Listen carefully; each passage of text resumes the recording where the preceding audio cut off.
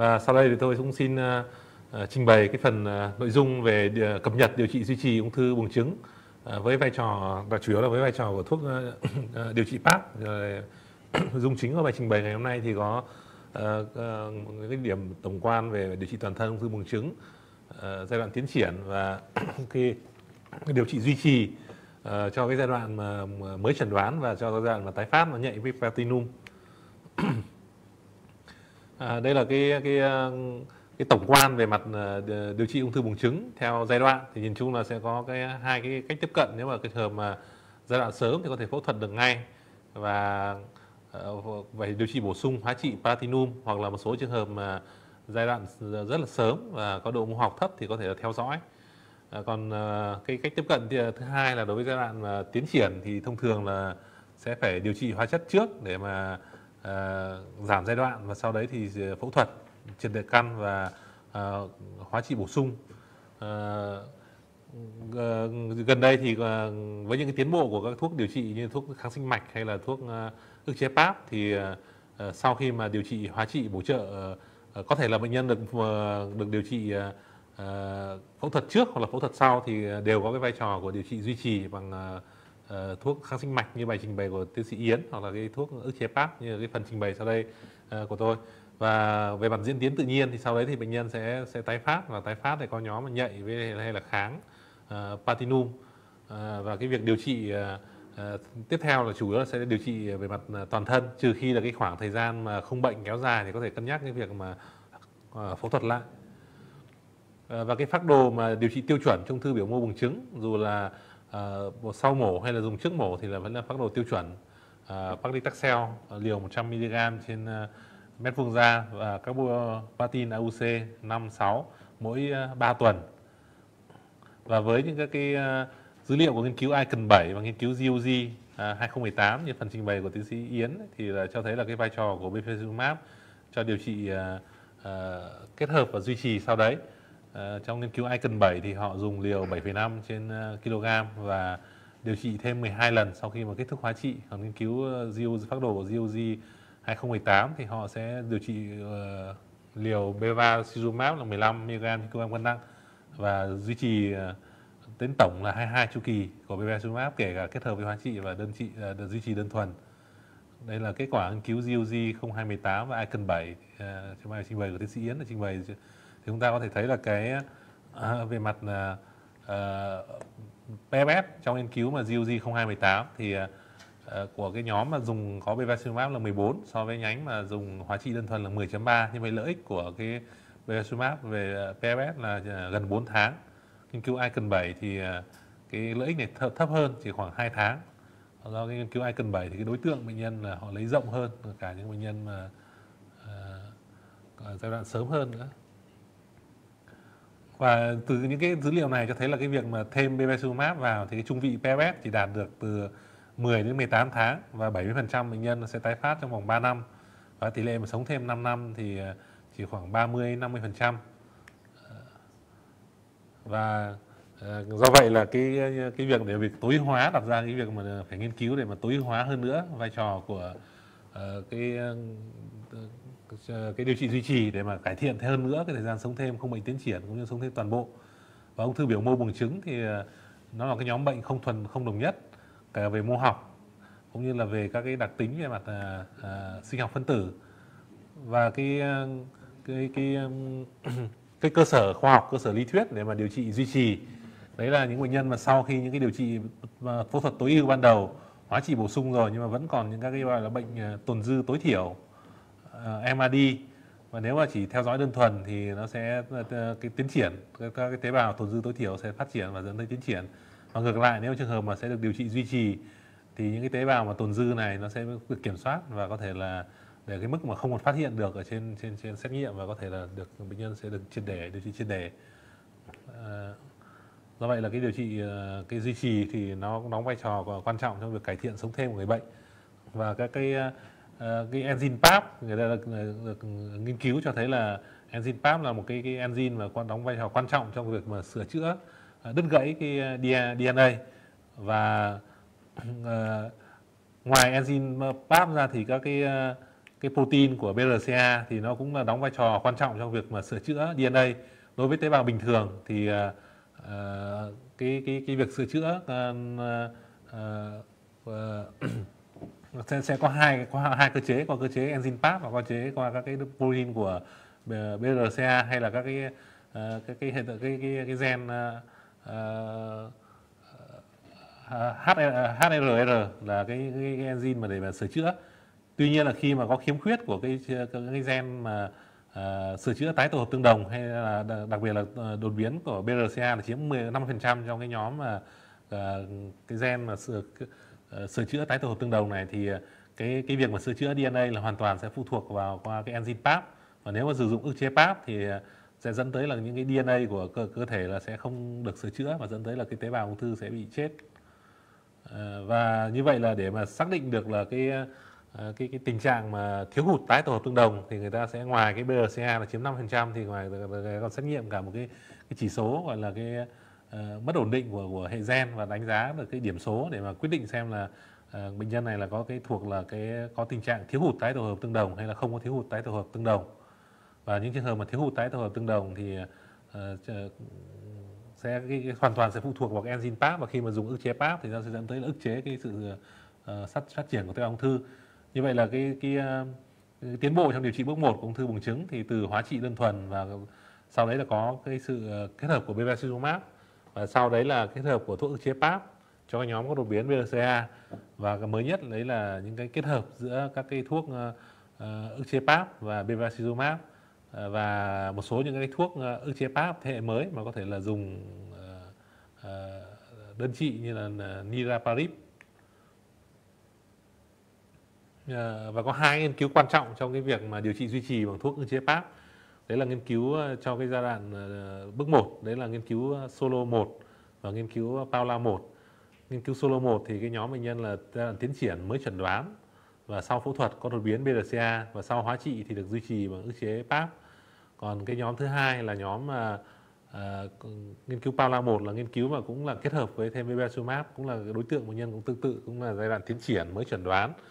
tuy nhiên là cái cái nhóm đối tượng nghiên cứu Paula 1 thì rộng hơn thì ngoài các cái bệnh nhân mà có đột biến BRCA thì còn có những bệnh nhân mà không có đột biến hay là có tình trạng tái tổ hợp tương đồng thiếu hụt tái tổ hợp tương đồng hay là là không có thai, thiếu hụt tái tổ hợp tương đồng. Và cái nhóm này thì sau phẫu thuật sẽ hóa trị và dùng bevacizumab như thường quy. Và sau đấy thì uh, có một cái nhóm sẽ kết hợp với lại là thuốc uh, olaparib. Đây là nghiên cứu solo 1 là bệnh nhân mà ung thư độ mô học cao dạng thanh dịch hoặc nội mạc độ giai đoạn 3 giai đoạn 4 à, có đột biến BRCA dòng mầm hay là dòng à, sinh dưỡng. Chỉ số thể trạng tốt và được dùng à, olaparib à, à, đến 2 năm liều 300 mg ngày hai lần và một nhánh là giả dược. Mục tiêu chí chính là PFS thì kết quả cho thấy là cái cái PFS là cải thiện rất là dài là lên tới 5 6 tháng so với chỉ có 14 tháng của nhóm giả dược và tại thời điểm 5 năm thì 48% bệnh nhân ở cái nhánh mà dùng olaparib uh, vẫn còn chưa tiến triển. Trong khi đấy thì cái nhánh mà dùng ờ, hóa trị là 21% là giảm được 70% nguy cơ. Và dù là cái tình trạng mà phẫu thuật ờ, như vậy là ở đây có bốn cái đường cong về sống thêm. Ở hai nhóm một nhánh dùng olaparib một nhánh dùng giả dược. Và mỗi nhóm thì lại cũng chia làm hai nhóm. Một nhóm là còn cái tổn thương đại thể sau mổ và nhóm không còn tổn thương đại thể sau mổ. Thì trong bốn nhóm này thì cái hai cái nhóm mà tức là dù là có hay không có tổn thương đại thể sau mổ thì dùng olaparib thì là vẫn cải thiện hơn so với nhóm mà không dùng olaparib. Và cái nhóm mà thậm chí là cái nhóm mà không còn đại thể thì cái cái cái cái ờ, uh, PMS vẫn còn chưa xác định được tại vì chưa đến thời điểm bệnh nhân 50% bệnh nhân tiến triển. Và trong khi đấy thì cái nhóm giả dược uh, không duy trì là 15 tháng. Và đối với nhóm mà còn đại thể thì cái ừ, PMS trung vị của olaparib cũng lên tới gần 30 tháng và tương tự như vậy thì ở cái nhánh mà sau khi mà kết thúc phẫu thuật hóa trị mà đạt đáp ứng hoàn toàn hay đáp ứng bán phần thì đều cho thấy là cải thiện tốt hơn ở nhánh olaparib so với nhánh dùng ờ, không được điều trị duy trì. Và tất nhiên ở nhánh mỗi từng nhánh thì cái nhánh mà đạt đáp ứng lân sàng toàn bộ thì sẽ có cái PFS sẽ tốt hơn. Ở nhánh bệnh nhân mà chưa không đạt được cái ờ, ờ, đáp ứng toàn bộ trên tức chỉ đáp ứng một phần ấy, thì cái trung vị sống thêm không tiến triển của olaparib vẫn đạt được khoảng 31 tháng. Đấy, như vậy là dù là nhóm có nguy cơ thấp hay nguy cơ cao thì là olaparib cũng ờ, cho thấy là được cái hiệu quả so với lại cái ờ, và đây là những cái cơ chế mà cho thấy là cái ờ, để mà người ta nghiên cứu kết hợp cả thuốc kháng sinh mạch và thuốc ức chế PAP. Đấy là cái cái kháng sinh mạch nó sẽ dẫn tới cái viêm môi trường khối u thiếu oxy và nó sẽ tăng cái nhạy cảm với thuốc các thuốc điều trị ức chế PAP. Và đây là cái cơ sở khoa học để nghiên cứu tăng ờ, tăng cường kết hợp cả olaparib và ờ, thuốc ờ, kháng sinh mạch. Đối tượng bệnh nhân thì cũng là giai đoạn 3, giai đoạn 4 và cũng là sau hóa trị platinum taxan. Và ít nhất là bệnh nhân được dùng 3 chu kỳ bevacizumab trong cái thời kỳ mà dùng hóa trị. Và cũng được chia làm hai nhóm một nhánh dùng bevacizumab và một nhánh dùng olaparib đến 2 năm. Và một nhánh thì dùng bevacizumab đơn thuần kết hợp với giả dược thì kết quả này cũng cho thấy là cái nhánh mà kết hợp cả kháng sinh mạch cả ức chế PAP thì lại tốt hơn là thuốc ờ, kháng sinh mạch đơn thuần cải thiện PFS từ 16 đến 22%. Ờ, tuy nhiên là trong nghiên cứu này lại không có nhánh là họ dùng cái thuốc ờ, olaparib đơn thuần cho nên là thực tế thì mình không thể đưa ra kết luận là kết hợp olaparib với bevacizumab thì có tốt hơn là olaparib đơn thuần hay không. Và đây người ta sẽ xem xét từng nhóm nhóm chung rồi nhóm có đột biến BRCA, nhóm có thiếu hụt tái tổ hợp tương đồng, nhóm có thiếu hụt tái tổ hợp tương đồng nhưng mà không có đột biến BRCA và nhánh cuối cùng là không có tái tổ hợp tương đồng. Thì cái nhánh mà đạt đáp ứng kém nhất mà không có sự khác biệt nhiều với cái nhóm uh, uh, giả dược đấy là cái nhánh mà uh, không có sự uh, tức là thiếu hụt tái tổ hợp tương đồng uh, SAD âm tính. Và tỷ lệ đáp ứng cũng như vậy. Thì cái nhóm mà không có sự khác biệt đấy là cái nhóm mà có cái cái nhánh mà không có sự thiếu hụt tái tổ hợp tương đồng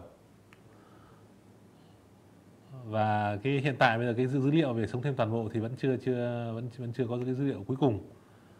và đây là tổng kết lại tất cả các cái nghiên cứu về ức chế PAP và nghiên cứu solo 1 thì cho thấy là cái PFS kéo dài nhất là 5 6 tháng. Còn nghiên cứu Paula 1 thì ờ, tính là quần thể chung thì cũng là cho thấy có sự cải thiện. Nhưng mà xét về quần thể riêng thì cái nhánh mà có đột biến BRCA thì cũng đạt được 37 tháng, nhánh có có thiếu tái tổ tương đồng cũng là 37 tháng. Nhánh mà có thiếu hụt tái tổ hợp tương đồng nhưng mà không có đột biến BRCA cũng đạt được 28 tháng. Và nhánh mà không có thiếu hụt tái tổ hợp tương đồng thì nó chỉ là 16 tháng mà không có khác biệt nhiều. Và ngoài ra thì có nghiên cứu như là uh, Prima thì uh, về Niraparib thì cũng cho thấy là nghiên cứu này thì lại cho thấy là cả cái nhóm này có, có cái thiếu hụt không có thiếu hụt tái tổ hợp tương đồng. Tức là SAD âm tính thì vẫn có cái hiệu quả của thuốc Niraparib đây là hướng dẫn của NCCN thì cũng uh, tương đồng với lại cái cái cái, cái, cái kết luận này. Uh, bệnh nhân mà giai đoạn tiến triển và uh, có đột biến dòng mầm hay là dòng uh, sinh dưỡng hoặc là có cái tình trạng thiếu hụt tái tổ hợp tương đồng thì đối với nhánh mà có đột biến BRCA hoặc là có thiếu hụt tái tổ hợp tương đồng thì có thể kết hợp giữa olaparib hoặc với bevacizumab hoặc là cũng có thể là sử dụng cái uh, các cái thuốc niraparib hoặc olaparib đơn thuần. Còn trường hợp mà bệnh nhân mà có không có thiếu hụt tái tổ hợp tương đồng thì uh, dùng uh, uh, bevacizumab hoặc là một cái thuốc thế hệ mới của ức chế pháp đấy là niraparib. Đấy là trường hợp bệnh nhân mới chuẩn đoán được chữ bước 1 còn trường hợp bệnh nhân mà tái phát với nhạy platinum tức là tái phát trên 6 tháng sau điều trị ban đầu thì có hai nghiên cứu là solo 2 và nghiên cứu study 19 để họ đánh giá cái hiệu quả của cái việc duy trì của olaparib. Và cái ờ, cái nghiên cứu này thì cũng solo 2 này cũng cho thấy là cái hiệu quả. Tuy nhiên nghiên cứu solo 2 này, cái điều kiện là bệnh nhân phải có đột biến ờ, BRCA và cái ờ, các cái, còn nghiên cứu study 19 thì lại không cần, không không không cần tiêu chí có còn phải có đột biến BRCA và kết quả của hai nghiên cứu này thì đều có thể cho thấy là có cải thiện về mặt PFS tất nhiên nghiên cứu study 19 thì cải thiện thì ít hơn do là lại tuyển lựa cả những cái nhóm bệnh nhân mà lại không có đột biến BRCA nó sẽ có thể là sẽ là cái nguyên nhân mà nó sẽ cái cái sống thêm PFS nó sẽ không bằng được nghiên cứu solo 2 Đấy, tuy nhiên là từ những dữ liệu này thì Ờ, đối với bệnh nhân mà duy trì bước 1 thì nhìn chung là cần phải có để mà điều trị olaparib cần phải có cái uh, uh, cần phải có cần phải có cái đột biến BRCA hoặc là thiếu hụt tái tổ hợp tương đồng. À, còn uh, còn à, đối với điều trị bước 2 thì à, à, với những dữ liệu lâm sàng nghiên cứu lâm sàng thì họ cũng không cần tức là không cần phải phải xét nghiệm đột biến thì vẫn có thể là điều trị bằng thuốc olaparib à, điều trị bước hai dù sao thì cũng sẽ có ít các cơ hội và ít các cái lựa chọn. Do vậy là à, cũng không cần phải các và dựa trên những nghiên cứu như study thì cũng không có hiệu quả cũng không cần phải xét nghiệm. Nhưng mà đối với điều trị bước 1 thì cần phải có ít nhất là có đột biến BRCA hoặc tình trạng thiếu hụt tái tổ hợp tương đồng khi mà về độc tính của thuốc olaparib thì à, thường gặp nhất là à, buồn nôn, mệt mỏi à, và một thiếu máu. Tuy nhiên là cái nhà hầu hết là độ 1 thôi, còn độ 3 độ từ 3 trở lên thì nó cũng rất là thấp. Rồi nhìn chung cũng là một cái thuốc mà có thể có tính dung nạp tốt. Và nếu trường hợp mà bệnh nhân dung nạp kém thì có thể là dừng điều trị hoặc là giảm liều. Đây là những các cái tiến bộ về các cái thuốc ức chế PAP, tức là ngoài, như vậy là ngoài olaparib thì còn có thuốc uh, niraparib. Và thuốc niraparib trong cái nghiên cứu prima thì uh, ngay cả những cái nhóm mà uh, gọi là không có cái thiếu hụt tái tổ hợp tương đồng thì cũng có hiệu quả. Như vậy là cái, cái đối với cái niraparib thì theo nghiên cứu prima thì lại không cần phải uh, xác định các cái đột biến BRCA hay là tình trạng thiếu hụt tái tổ hợp tương đồng. Đây là khuyến cáo của Bộ Y tế Việt Nam thì về bevacizumab thì đã uh, trong bài trình bày của tiến sĩ Yến đã đưa các thông tin và Ờ, mà ờ, bệnh nhân được ờ, chấp thuận cho những cái bệnh nhân mà giai đoạn 3, giai đoạn 4 mà có, có tổn thương tồn dư trên 1 cm thì là sẽ được duy trì trong điều trị bước 1. Còn đối với thuốc ức chế PAP thì có thể được, được duy, duy trì trong điều trị ban đầu. Ở những bệnh nhân mà có độ mô học cao rồi là giai đoạn tiến triển có đột biến BRCA hoặc là tình trạng mà tái tổ hợp thiếu hụt tái tổ hợp tương đồng. Và đối với những trường hợp mà bệnh nhân mà có tái phát mà còn nhạy platinum thì cũng có vai trò của duy trì của ờ, uh, ức chế PAP sau khi mà kết thúc hóa trị không tiến triển Vâng, đây là cái phần mà kết luận của bài trình bày. Như vậy là cái việc mà điều trị ung thư buồng trứng giai đoạn tiến triển giai đoạn 3 4 thì cũng rất là khó khăn và trong 2 3 năm thì với 2 phần 3 bệnh nhân là người ta có thể có những cái tiến triển. Do vậy là cái vai trò của điều trị duy trì rất là quan trọng để mà kéo dài cái PFS. Và ngoài thuốc kháng sinh mạch thì gần đây thì đã chứng minh được cái vai trò của uh, thuốc uh, ức chế PAP. Uh, cả trong cái điều trị về bước 1 và trong cái khi mà tái phát với nhạy uh, platinum và có thể kết hợp cả ức chế PAP với lại thuốc kháng sinh mạch. Tuy nhiên là cái à, thuốc ức chế pap thì cái chi phí còn lớn và những các cái vấn đề về mặt bảo hiểm chi trả thì cũng sẽ khó khăn cho cái việc bệnh nhân mà có thể tiếp cận. Do vậy là cái việc mà sử dụng ức chế PAP thì cũng sẽ phải cân nhắc và cả phải dựa trên cả những các cái uh, vấn đề về mặt ờ, chi phí và hiệu quả điều trị. Vâng, bài trình bày của tôi đến đây kết thúc và xin cảm ơn sự lắng nghe của quý đồng nghiệp.